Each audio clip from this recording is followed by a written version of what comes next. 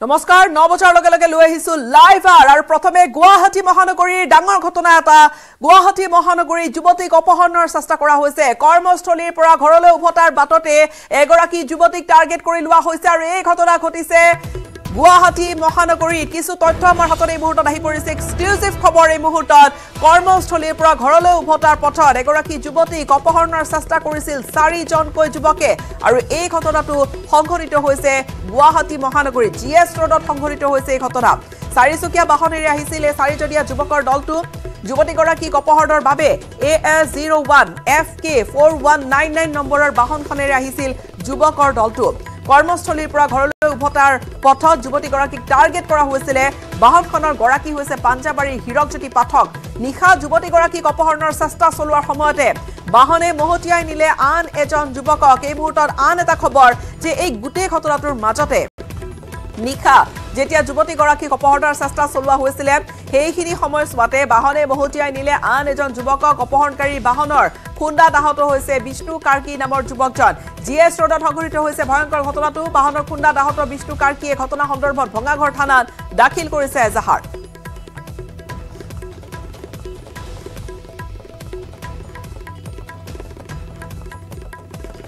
নিশাৰ মহানগৰীত কি ঘটে? নিশা মহানগৰীৰ যুৱতী কিমান সুৰক্ষিত? যুৱতীক এগৰাকীক চাৰিজন যুৱকে টানি আজুৰি অপহৰণ কৰাৰ চেষ্টা কৰাৰ খবৰে এই মুহূৰ্তত যথেষ্ট প্ৰতিক্ৰিয়াৰ সৃষ্টি এই ঘটনা সন্দৰ্ভত। আচলতে যিহেতু সেই বাহনখনে আন এজন যুৱককো খুন্দিয়াইছিলে এই টনা আজোৰাৰ মাজতে এই গোটেই ঘটনাটোৰ পিছতে সেই আহত যুৱকজনে ভঙাগড় থানাত এখন এজাহাৰ দিছে।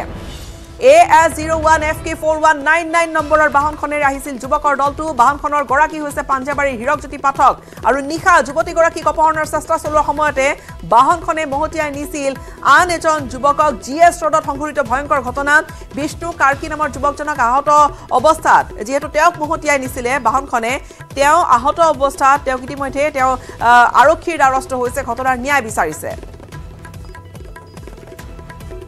আৰু আনহাতে গোটেই ঘটনাটো সন্দৰ্ভত যুৱতীগৰাকীৰ ভাষ্য বা কি হৈছিলে এই সন্দৰ্ভত আমি সবিশেষ জানিম। সংযুক্ত হৈছে আমাৰ জ্যেষ্ঠ সাংবাদিক দীপাংকৰ দাসৰ সৈতে। দীপাংকৰ এই মুহূৰ্তৰ এই জি এছ ৰোডৰ গোটেই ঘটনাটোৱে কিন্তু ব্যাপক চাঞ্চল্যৰ সৃষ্টি কৰিছে। কি হৈছিল জি এছ ৰোডত? নিশ্চয় গীতাশ্ৰী চাৰিটা দিন পূৰ্বে নিশা সংঘটিত হোৱা এটা ভয়ংকৰ ঘটনা। আৰু গুৱাহাটী মহানগৰীত যে নিশাৰ ভাগত যুৱতী হওক যে মুঠেই সুৰক্ষিত নহয় সেই কথা পুনৰ প্ৰমাণ হৈছে।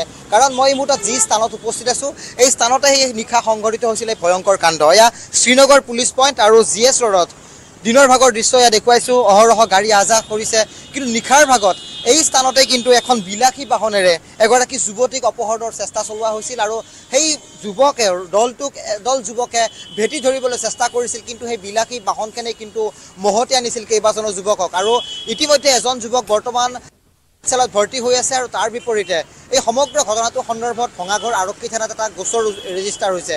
আৰু বৰ্তমান যিজন যুৱকৰ তথ্য পোহৰলৈ আহিছে হীৰকজ্যোতি পাঠক নামৰ সেই যুৱকজনৰ আমি ফটোগ্ৰাফ দেখুৱাইছোঁ। সেই যুৱকজনে সেই নিশা সেই বাহনখন চলাই থকাৰ এটা তথ্য আৰু অভিযোগ এই মুহূৰ্তত পোহৰলৈ আহিছে আৰু কিছু সময়ৰ পিছতে সমগ্ৰ যি চাঞ্চল্যকৰ ঘটনাটোৰ চি চি টিভি ভিজুৱেলছ আমি দৰ্শকসকলক দেখুৱাবলৈ সক্ষম হ'ম। মাত্ৰ কিছু সময় কাৰণ শেহতীয়াকৈ যি তথ্য পোহৰলৈ আহিছে যে গুৱাহাটী মহানগৰীৰ মাজমজিয়াত এই ভয়ংকৰ কাণ্ড সংঘটিত হৈছিল। কৰ্তব্যস্থলীৰ পৰা নিজৰ চাৰিদিন পূৰ্বে কৰ্তব্যস্থলীৰ পৰা উভতাৰ বাটত যুৱতীগৰাকীক টাৰ্গেট কৰি লৈছিলে। এই মুহূৰ্তত বাহনখন যিজনে চলাইছিলে হীৰকজ্যোতি পাঠক তেওঁ পাঞ্জাবাৰীৰ বাসিন্দা সেইখিনি তথ্য আহিছে পোহৰলৈ। দীপাংকৰ ঘটনা এই ঘটনাটো সন্দৰ্ভত গোচৰ ৰুজু হৈছে নে যিহেতু সেই বাহনখনে এই টনা আজোৰাতে যুৱতীগৰাকীক অপহৰণ কৰাৰ চেষ্টাতে আন এজন যি যুৱকক মহতিয়াইছিলে সেই যুৱকজনে ইতিমধ্যে আৰক্ষীৰ দ্বাৰস্থ হৈছে। কিন্তু এই ঘটনা সন্দৰ্ভ- সন্দৰ্ভত আচলতে কিবা গোচৰ ৰুজু হৈছেনে? নিশ্চয় যিটো চি চি টিভি ভিজুৱেলছ বৰ্তমান পোহৰলৈ আহিছে সেয়া হৈছে পোন্ধৰ ফেব্ৰুৱাৰী নিশা দুই বাজি পঞ্চল্লিছ মিনিট। আৰু যি ঘটনাটো সংঘটিত হৈছিল তেতিয়া প্ৰায় নিশা চাৰে বাৰ বাজিছিল। অৰ্থাৎ প্ৰায় দুঘণ্টা সময় গুৱাহাটী মহানগৰীৰ জি এছ ৰোডত এটা শ্বাসৰুদ্ধকৰ পৰিস্থিতিৰ পৰিৱেশ সৃষ্টি হৈছিল। কাৰণ প্ৰায় দুঘণ্টা সময় ধৰি সেই যুৱক আৰু যুৱতীগৰাকীক এক প্ৰকাৰ ফ'ল' কৰিছিলে সেই দুৰ্বৃত্তৰ দলটোৱে। তাৰপিছত এই সমগ্ৰ ঘটনাটোৰে সৈতে মুখামুখি হোৱাৰ যিখন বাহনৰ তথ্য পোহৰলৈ আহিছে A S zero' one F K double four four nine সেই নাম্বাৰৰ যিখন বিলাসী বাহন সেই বাহনখন চলাই থকা যি তথ্য পোহৰলৈ আহিছে হীৰকজ্যোতি শুভজ্যোতি পাঠক নামৰ সেই যুৱকজনৰ বিৰুদ্ধে। গতিকে সমগ্ৰ তথ্য যিহেতু চি চি টিভি ভিজুৱেলছ আকাৰে তথ্য প্ৰকাশ পাইছে গতিকে আৰক্ষীয়ে সমগ্ৰ ঘটনা সন্দৰ্ভত ইতিমধ্যে জোৰদাৰ অনুসন্ধান আৰম্ভ কৰিছে। গতিকে সেই চি চি টিভি ভিজুৱেলছটোৰ ওপৰত ভিত্তি কৰি এই কথা স্পষ্টতাৰে ক'ব পাৰি যে এই দুৰ্বৃত্তৰ দলটোৱে বিলাসী বাহন ব্যৱহাৰ কৰিছিলে সেই যুৱতীক অপহৰণ কৰাৰ বাবে। কাৰণ যুৱতী আৰু সেই যুৱকৰ যি অৱস্থিতি বাইকত ধৰা পৰিছিলে আৰু সেই বাইকখনক ফ'ল' কৰিছিলে সেই বিলাসী বাহনে। অহৰহ পলুৱাই যোৱাৰ চেষ্টা চলোৱা হৈছিল। থানাত এজাহাৰ দিছে তেওঁ আহতও হৈছে তেওঁ চলাই আছিলে বাইকখন আৰু যুৱতীগৰাকী তেওঁৰ সৈতে আছিল দীপাংকৰ নহয় জানো?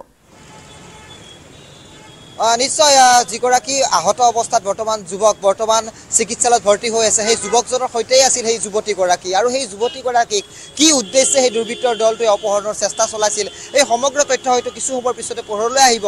কিন্তু সেই ডাঙৰ খবৰটো জনাইছোঁ যে এগৰাকী যুৱতীক অপহৰণৰ চেষ্টা চলাইছিল এটা দুৰ্বৃত্তৰ দলে আৰু সমগ্ৰ ঘটনা সন্দৰ্ভত ভঙাগড় আৰক্ষী থানাত এখন এজাহাৰ দাখিল কৰা হৈছে।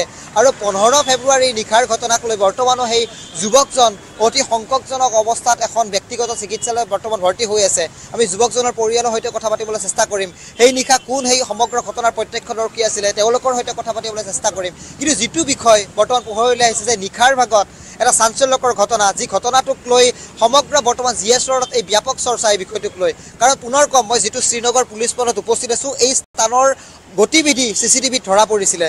নিশা কিদৰে সেই বিলাসী বাহনে মহতিয়াই নিছিল সেই যুৱকৰ দলটোৱে এই সমগ্ৰ তথ্য বৰ্তমান পোহৰলৈ আহিছে। আৰু এই যিটো আমি ছয় মাইলৰ পৰা আমি পল্টন বজাৰ অভিমুখে যিটো আমি পথ দেখুৱাইছোঁ বৰ্তমান জি এছ ৰোডৰ এই জি এছ ৰোডৰ এই স্থানতে সেই বাহনখনে দুৰ্ঘটনা সংঘটিত কৰিছিল। কৰি ইয়াৰ পৰা ইউ টাৰ্ণ লৈ বাহনখনে পুনৰ পুনৰ ছয় মাইল দিশে তেওঁ পলাই যাবলৈ সক্ষম হৈছিল। গতিকে পাঞ্জাবাৰীৰ সেই বাহনখনৰ গৰাকীৰ বৰ্তমান সন্ধানত মহানগৰ আৰক্ষী এক প্ৰকাৰ অভিযান আৰম্ভ কৰিছে আৰু যুৱতীগৰাকী বৰ্তমান সুৰক্ষিত অৱস্থাত আছে। কিন্তু যুৱতীগৰাকী কি উদ্দেশ্যে কিহৰ বাবে অপহৰণ কৰিবলৈ চেষ্টা চলাইছিল এই সমগ্ৰ তথ্য কিন্তু গীতাশ্ৰী আৰক্ষীৰ অনুসন্ধানত আহ, পোহৰলৈ আহিব। দীপাংকৰ ডাঙৰ ঘটনা এই ধৰণে আচলতে নিশাৰ ভাগত এই যি ঘটনা আমি পৰৱৰ্তী সময়ছোৱাত আপোনাৰ সৈতে পুনৰ সংযুক্ত হ'ম। চি চি টিভি ভিজুৱেলছ আমাৰ হাতত আহি পৰিব আৰু আমি দৰ্শকলৈ সেই চি চি টিভি ভিজুৱেলছ আগবঢ়াম কি ধৰণে পোন্ধৰ ফেব্ৰুৱাৰী নিশা সেই ঘটনাটো সংঘটিত হৈছিলে ইতিমধ্যে বিষ্ণু কাৰ্কি নামৰ যুৱকজনে ইতিমধ্যে আৰক্ষীৰ দ্বাৰস্থ হৈছে ঘটনা সন্দৰ্ভত। আৰু এই গোটেই ঘটনাটোৰ বিষয়ে সবিশেষ বিচাৰি আৰক্ষীয়ে তদন্ত অব্যাহত ৰাখিছে। কিন্তু কি হৈছিল পোন্ধৰ ফেব্ৰুৱাৰী নিশা জি এছ ৰোডত? আৰক্ষীয়ে উলিয়াব পাৰিবনে প্ৰকৃত কাৰণ? এই মুহূৰ্তত আৰক্ষীৰ সন্মুখতো সেই প্ৰশ্ন আৰু আনহাতে বিলাসী বাহনেৰে যুৱতীক অপহৰণৰ ঘটনাটোৰ পিছতে ব্যাপক প্ৰতিক্ৰিয়া দেখা গৈছে।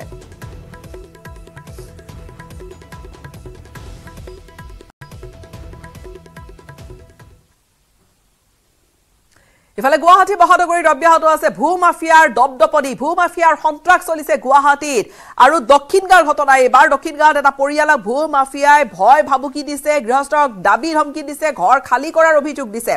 ঘৰ খালী কৰিবলৈ কোৱা হৈছে আৰু এই অভিযোগ উত্থাপন কৰিছে পৰিয়ালৰ লোকে। এই মুহূৰ্তত কিছু তথ্য আমাৰ হাতত আহি পৰিছে।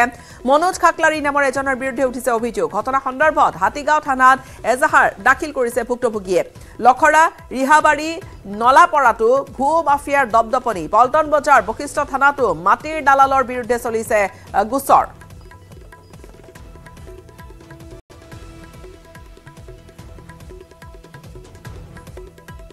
মাটিৰ দালালৰ দপদপনি গুৱাহাটী মহানগৰীত ইতিমধ্যে এই ভুৱা মাটিৰ দালাল এই এই মাটিৰ মূল গৰাকীয়ে গম নোপোৱাকৈ দালালে কেনেকৈ মাটি বিক্ৰী কৰিছে তেনেকুৱা বহু কেইটা ঘটনা পোহৰলৈ আহিছে। আনকি দিছপুৰ ৰাজহ চক্ৰৰ পৰা ভূমি কেলেংকাৰীয়ে এক প্ৰকাৰ এটা এটা পৃষ্ঠাই উন্মোচন কৰিছে যে গুৱাহাটী মহানগৰীত ভূ মাফিয়াৰ দপদপনি কি পৰ্যায়ত? এতিয়া মহানগৰীত অব্যাহত এই ভূ মাফিয়াৰ সন্ত্ৰাস দক্ষিণ গাঁৱৰ এটা পৰিয়ালক এটা পৰিয়ালক ভূমাফিয়াই ভাবুকি দিছে আৰু গৃহস্থক দাবী ধমকি দিছে ঘৰ খালী কৰিবলৈ কৈছে। ঘৰ খালী কৰোৱাৰ অভিযোগ উত্থাপন কৰিছে এই ভুক্তভোগী পৰিয়ালটোৱে। মনোজ খাকলাৰী নামৰ এজনৰ বিৰুদ্ধে উঠিছে অভিযোগ আৰু ঘটনা সন্দৰ্ভত হাতীগাঁও থানাত এজাহাৰ দাখিল কৰিছে ভুক্তভোগীয়ে। লখৰা ৰিহাবাৰী নালাপৰাটো ভূ মাফিয়াৰ দপদপনি চলিছে। পল্টন বজাৰ বশিষ্ঠ থানাতো মাটিৰ দালালৰ বিৰুদ্ধে গোচৰ আছে। আৰক্ষীয়ে এতিয়া সেই গোচৰসমূহ কিবা গুৰুত্ব সহকাৰে লৈছে সেয়াও এটা ডাঙৰ বিষয়।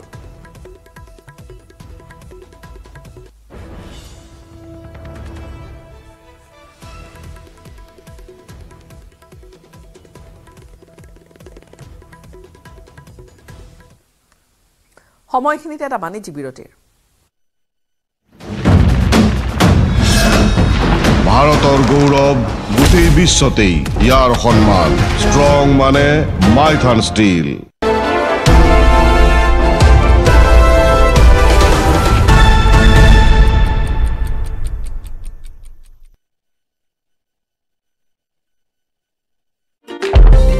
চাপৰিতো হ'ব। তো ডেফিনেটলি আমাৰ চান্সেছ আছে। ইয়াৰ বাহিৰত আমাৰ এলিফেণ্ট চেঞ্চাছ যিটো আমাৰ গোটেই অসমত এইটো এটা টাইমতেই হয়। ইয়াৰ আমি এটা ডেট পাইছোঁ। তো সেইটো আমাৰ সাত দিনৰ কাৰণে বিছ টুৱেণ্টি ফেব্ৰুৱাৰীৰ পৰা টুৱেণ্টি ছেভেন ফেব্ৰুৱাৰীলৈকে আছে।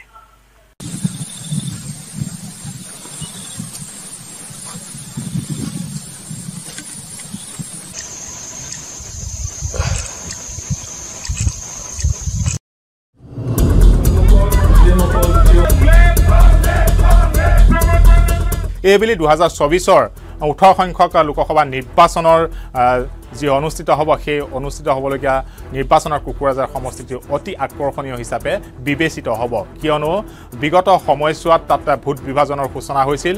এইবেলি বৰ্তমানৰ যিগৰাকী সাংসদ নৱকুমাৰ শৰণীয়া তৃতীয়বাৰৰ বাবে অৱতীৰ্ণ হ'বলৈ গৈ আছে। কিন্তু তেওঁৰ সন্মুখত এটা ডাঙৰ প্ৰত্যাহ্বান আছে যে তেওঁৰ এছ টি চাৰ্টিফিকেটখন তেওঁ এছ টি সম্প্ৰদায়ৰ নহয় বুলি অৰ্থাৎ জনজাতীয় লোক নৱশৰণীয়া নহয় বুলি পেলাই ইতিমধ্যে এক প্ৰতিবেদন দিয়া হৈছে ৰাজ্য চৰকাৰৰ তৰফৰ পৰা। আৰু তাৰ ফলশ্ৰুতিত তেওঁ এইবেলি লোকসভা নিৰ্বাচনত প্ৰতিদ্বন্দ্বিতা কৰিবলৈ সক্ষম হয় নে নাই সেইটো এই মুহূৰ্তত কৈ দিব নোৱাৰি। কিন্তু আইনী যুঁজ চলি আছে।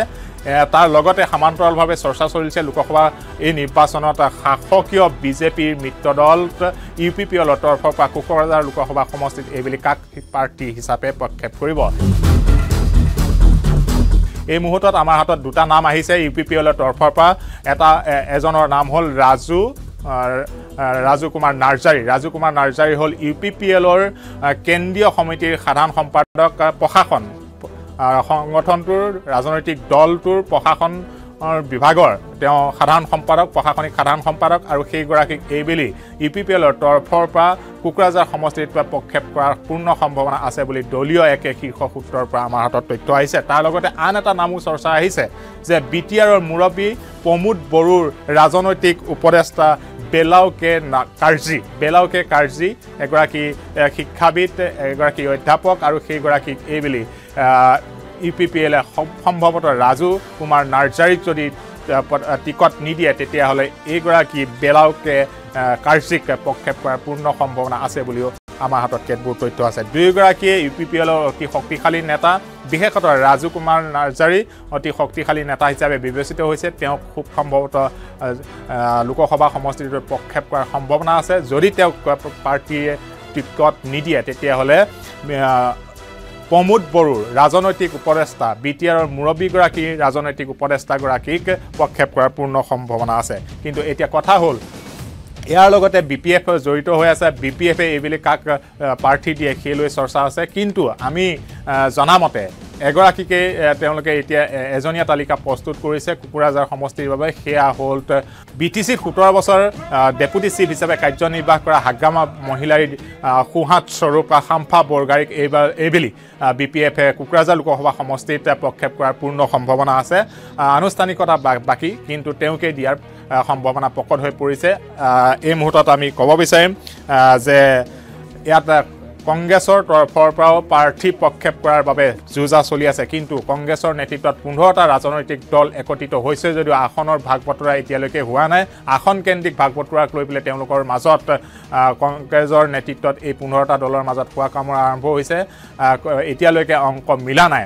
এনে প্ৰেক্ষাপটত কংগ্ৰেছে তাত প্ৰাৰ্থী প্ৰক্ষেপ কৰিবনে বা বেলেগ কোনো দলক তাত আসনখন এৰি দিব সেইটো এতিয়াও ঠিক হোৱা নাই। কিন্তু আমাৰ হাতত যিসমূহ তথ্য আহিছে যে এইবেলি শাসকীয় মিত্ৰজোঁটৰ তৰফৰ পৰা ইউ পি পি এল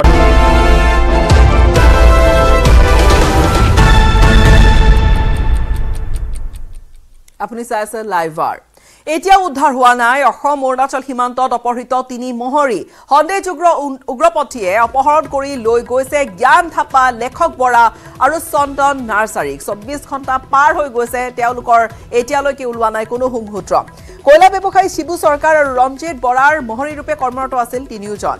তেওঁলোকৰ দুজন তিনিচুকীয়াৰ লেখাপানীৰ বাসিন্দা। আৰু এই গোটেই ঘটনাটোত আচলতে টকাৰ লেনদেনৰ পৰিপ্ৰেক্ষিতত এই অপহৰণ কাণ্ড সংঘটিত হোৱাৰ সন্দেহ কৰা হৈছে। ঘটনাত আলফা স্বাধীন আৰু এন এছ চি এন জড়িত থকাৰ সন্দেহ কৰা হৈছে। লেখক বৰা আৰু চন্দন নাৰ্জাৰীৰ ঘৰ হৈছে তিনিচুকীয়াৰ লেখাপানী। অপহৃত তিনি মহৰীৰ সন্ধানত অসম আৰু অৰুণাচলৰ আৰক্ষীয়ে অব্যাহত ৰাখিছে যুটীয়া অভিযান। চৌব্বিছ ঘণ্টাৰ পিছতো অপহৃত তিনি কৰ্মচাৰীৰ কোনো সন্ধান উলিয়াব নোৱাৰাত হাহাকাৰ লাগিছে পৰিয়ালৰ মাজত। অসম অৰুণাচল সীমান্তৱৰ্তী ফায়াৰিং ৰেঞ্জৰ পৰা দেওবাৰে পুৱাই অপহৰণ কৰি লৈ গৈছিল তিনি বহৰীক তেওঁলোকক ঘন জংঘললৈ লৈ গৈছিল আৰু এখন ডাম্পাৰেৰে লৈ গৈছিল বুলি জনা গৈছে আৰু তাৰপিছত সেই বাহন তাতেই এৰি তেওঁলোক জংঘললৈ তেওঁলোকক লৈ যোৱা হৈছিল বুলি একাংশ প্ৰত্যক্ষদৰ্শীয়ে জনাইছে। কিন্তু তেওঁলোকৰ পৰিয়ালৰ লোকলৈ এতিয়ালৈকে কোনো তেনেকুৱা ফোন বা তেনেকুৱা কোনো কথা অহা নাই। আচলতে ঘটনাটোত বিশেষকৈ এই দুয়োজন কয়লা ব্যৱসায়ীয়েও বিশেষ কোনো মুখ খোলা নাই। ঘটনাক কেন্দ্ৰ কৰি অঞ্চলটোত কিন্তু এতিয়া তীব্ৰ উত্তেজনা অব্যাহত আছে। মোৰ ল'ৰাটো গৈছিলে বিচাৰা দুপইচা কমাবৰ কাৰণে মাক নাই বিচাৰা গৰীব দুখী ল'ৰা হয়। এতিয়া বিচাৰা ভাই বি এটা এতিয়া বেমাৰী লিখা আছে ভৰিটো ভাল নাই দুপইচা কমাব কৰিম চাদি বিয়া কৰা নাই বিচাৰা কমাই কিনে চাদি বিয়া কৰিম দুপইচা কমাবৰ কাৰণে কাৰোবাক মহৰি কৰি আছোঁ বুলি কৈছিলে তাক। বিচাৰা গৈছিলে গোৱা সময়তে এইটো কথা শুনি পালোঁ মই আজি।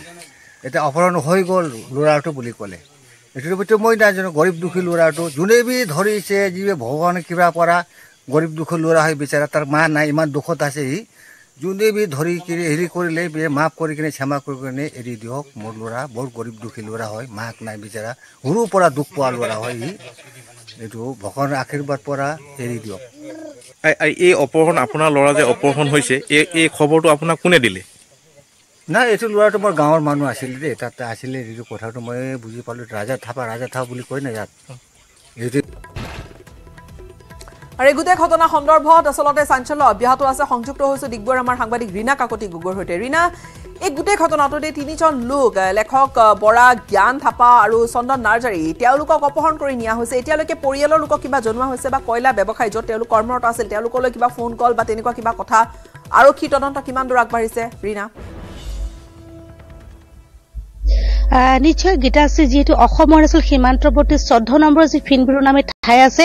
এখন বিশাল কয়লা সাম্ৰাজ্য বুলি ক'ব লাগিব। সেই যি অঞ্চলটো আৰু ইতিমধ্যে দেখা গৈছে যোৱাকালি পুৱতি নিশা তিনিজনকৈ লোক যিহেতু চন্দন নাৰ্জাৰী লেখক বৰা আৰু জ্ঞান থাপাই তিনিওজনক যিহেতু কোনো উগ্ৰপন্থী সংগঠনে ইতিমধ্যে আলফা স্বাধীন আৰু N S N K Y বুলি সন্দেহ কৰা হৈছে। তেওঁলোকে যিটো এখন ডাম্পাৰে উঠাই লৈ গৈছিল। আৰু তেতিয়াৰ পৰা দেখা গৈছে বৰ্তমান চৌবিশ ঘণ্টা উকলি গৈছে। কিন্তু কোনো সেই তিনিজন লোকৰ সুসূত্ৰ উদ্ধাৰ কৰিবলৈ সক্ষম হোৱা নাই আৰক্ষী প্ৰশাসনে। ইতিমধ্যে তিনিচুকীয়া জিলা আৰক্ষী প্ৰশাসনৰ এটা বৃহৎ দল লগতে অৰুণাচল আৰক্ষী প্ৰশাসন আৰু সেনা বাহিনী দলে তন্ন তন্নকৈ যিটো অভিযান অব্যাহত ৰাখিছে গভীৰ বনাঞ্চলৰ মাজত কিন্তু বৰ্তমানলৈকে কোনো ধৰণৰ খবৰ লাভ কৰিবলৈ সক্ষম হোৱা নাই। লগতে সংবাদ মাধ্যমৰ সন্মুখতো কোনো কথা সদৰি কোৱা নাই তেওঁলোকে। ইতিমধ্যে দেখা গৈছে এই যে তিনিজন লোক যি জ্ঞান থাপা চন্দন নাৰ্জাৰী আৰু লেখক বৰা তেওঁলোকৰ বৰ্তমান পৰিয়ালবৰ্গৰ লগত আমি যি যোগাযোগ কৰিবলৈ চেষ্টা চলাইছিলো কিন্তু বৰ্তমানে জ্ঞান থাপাৰ পৰিয়ালৰ সৈতে আমাৰ যোগাযোগ হৈছে।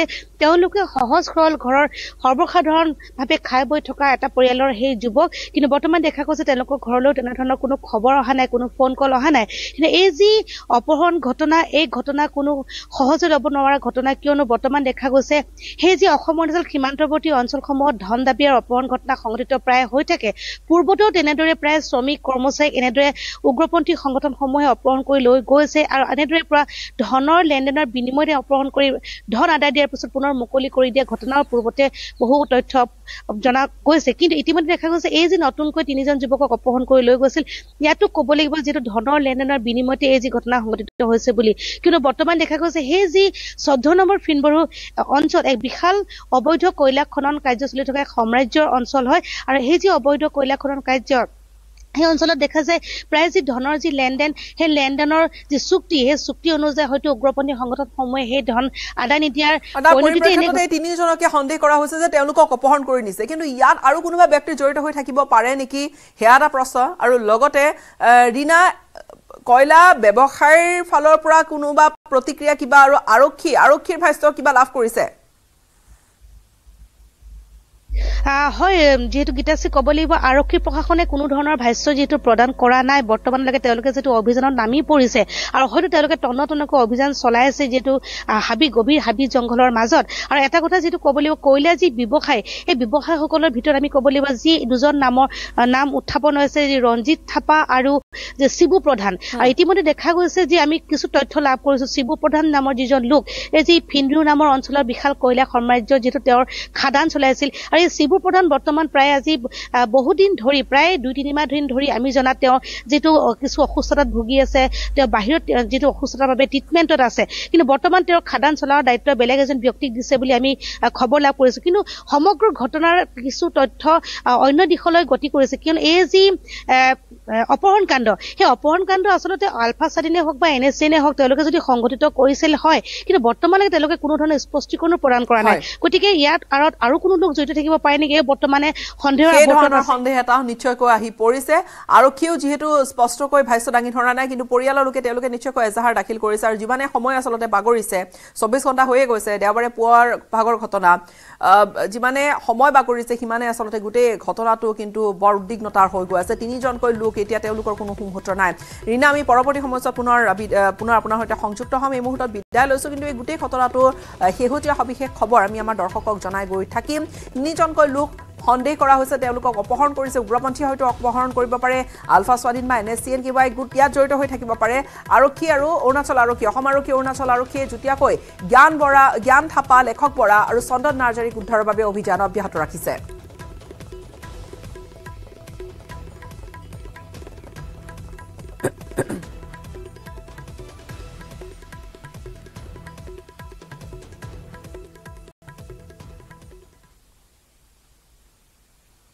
সাময়িকভাৱে স্থগিত কৃষক বিদ্ৰোহ।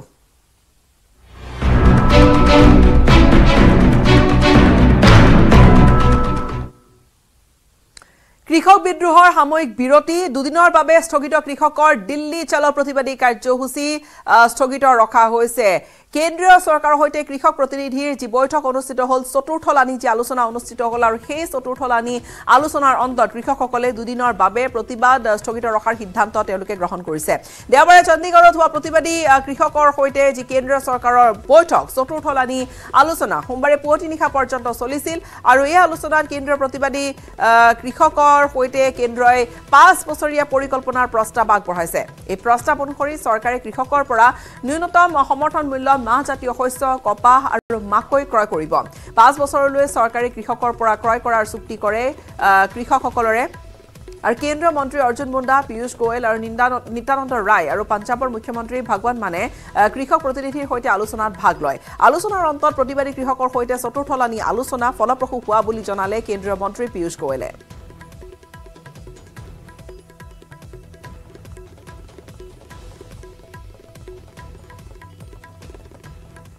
मेरा विश्वास है, जिस अच्छे वातावरण में आज की चर्चा हुई है, उस वातावरण में दोनों पक्ष सकारात्मक सोच के साथ, हम चाहते हैं कि कॉटन पुनर्जीवित हो।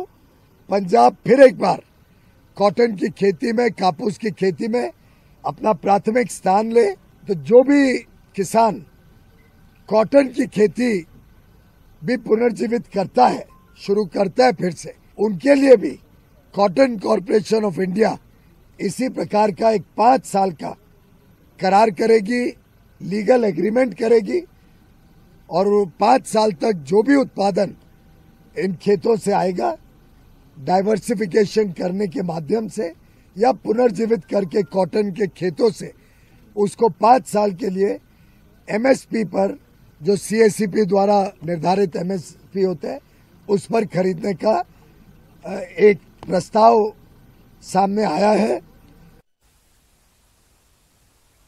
আৰু কেন্দ্ৰৰ প্ৰস্তাৱৰ অন্তত আলোচনাত ভাগ লোৱা কৃষক নেতাই সাময়িকভাৱে প্ৰতিবাদ কাৰ্যসূচী বিৰত ৰখাৰ সিদ্ধান্ত ল'লে। দুদিনৰ বাবে প্ৰতিবাদী কাৰ্যসূচী স্থগিত ৰাখি নেতৃত্বই অন্যান্য কৃষক প্ৰতিনিধিৰ সৈতে বিষয়টো আলোচনাত মিলিত হ'ব। একে সময়তে কেন্দ্ৰৰ প্ৰস্তাৱে কৃষকসকলক কিমান উপকৃত কৰিব সেই বিষয়ে বিশেষজ্ঞৰো পৰামৰ্শ ল'ব। তাৰ পিছতহে পৰৱৰ্তী পদক্ষেপৰ কথা তেওঁলোকে জনাব। কিন্তু কেন্দ্ৰৰ প্ৰস্তাৱ মনপুত নহ'লে একৈছ ফেব্ৰুৱাৰীত একৈছ ফেব্ৰুৱাৰীত কৃষকে পুনৰ আৰম্ভ কৰিব দিল্লী চলোৱা প্ৰতিবাদী কাৰ্যসূচী। श्री महोदय ने प्रेस के सामने प्रस्ताव रखा है। अब हमने कहा, ठीक है, आप जो प्रस्ताव हमें दे रहे हैं, हम इस मीटिंग में इसके ऊपर कोई निर्णय नहीं ले सकते। तो हम अपने सभी साथियों के साथ और कोई कृषि विशेषज्ञ थे और अन्य माहर, कानून के कोई माहर से सबसे इस इस प्रस्ताव की समीक्षा करेंगे, तब निर्णय ले सकेंगे इसके बारे में क्या करना है।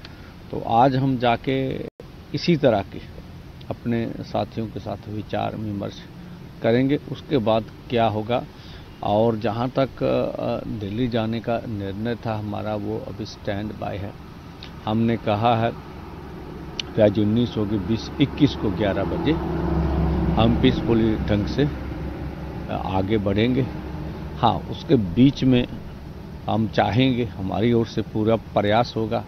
कि हम अपनी बात फिर केंद्र के समक्ष रख दें आज उसका माध्यम कुछ भी हो सकता है तो केंद्र इन दो दिनों में कोई और जैसे कि मंत्री महोदय ने भी कहा कि कुछ बातें अभी है उसके बारे में हम भी दिल्ली जाके विचार करेंगे সময়খিনিতে আন এটা বাণিজ্যিক বিৰতিৰ